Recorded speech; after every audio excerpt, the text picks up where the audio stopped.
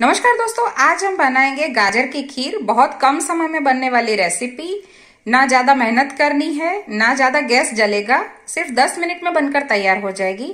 आइए बनाना शुरू करते हैं। सबसे पहले मैंने ली है एक किलो गाजर, जिसके दोनों साइड के हिस्से थोड़े थोड़े कट करके हम इसके छिलके उतार लेंगे। गाजर के छिलके मैंने उतार दिए हैं। अब हम गाजर को अच्छी तरह पानी से धो लेंगे। गाजर को धोने के बाद हम इसके छोटे छोटे टुकड़े कर लेंगे चाकू की मदद से। गाजर जो है हमारे छोटे टुकड़ों में कटकर तैयार हो चुकी है। अब हम इसको डाल देंगे एक कुकर में। गाजर को हमने कुकर में डाल दिया है। अब हम इसमें डालेंगे लगभग एक ग्लास मतलब 200 सौ जितना पानी। कुकर का ढक्कन कर देंगे बंद और हम बजने देंगे इसकी तीन सीटी। गाजर हमारे बिल्कुल उबल चुकी है। अब हम इसको मैशर की मदद से बिल्कुल बारीक बारीक पेस्ट जैसा मैश कर लेंगे। गाजर जो है वो मैशर की मदद से, जैसे कि आप देख रहे हैं, मैंने बिल्कुल बारीक जो है मैश कर ली है। अब हम इसको साइड में रख देंगे कुछ देर के लिए। अब मैंने रख दिया है एक कढ़ाई में एक लीटर दूध गर्म होने के लिए, जिसको हम आने देंगे सिर्फ़ एक उबाल।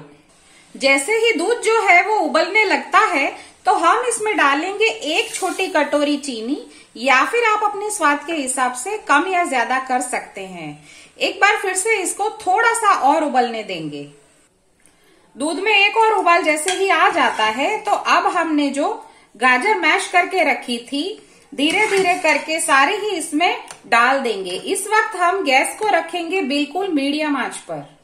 मैश करे हुए सारी गाजर हमने दूध में डाल दी है। अब सिर्फ़ एक से दो मिनट के लिए इसको हम मीडियम आँच पर खोलने देंगे। जैसे ही गाजर दूध में खोलने लगती है तो हम इसमें डालेंगे लगभग 60 ग्राम जितना milk powder.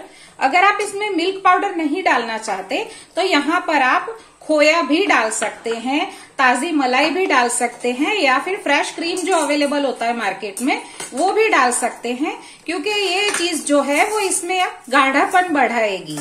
Milk powder mix करके हम फिर से एक दो मिनट के लिए मीडियम आँच पर इसको उबाल लेंगे। दो तीन मिनट तक खोलने देने के बाद मिल्क पाउडर की मदद से हमारी खीर जो है, वो काफ़ी गाढ़ी हो चुकी है, जैसी होनी चाहिए।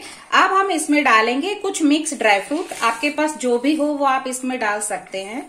अच्छे से कर लेंगे इसको एक बार मिक्स और खोलने देंगे फिर से दो मिनट के लिए। लगभग दो मिनट तक खोलाने के बाद गैस को हम कर देंगे बंद। खीर हमारी बनकर बिल्कुल रेडी हो चुकी है। लास्ट में हम डालेंगे छह से सात कुटी हुई इलायची का पाउडर एक बार फिर से अच्छे से मिला लेंगे। खाने के लिए खीर बिल्कुल तैयार है। बस इसको परोस देंगे हम एक बर्तन में। स्वाद और सेहत से भरपूर हमारी गाजर की खीर बिल्कुल बनकर तैयार है।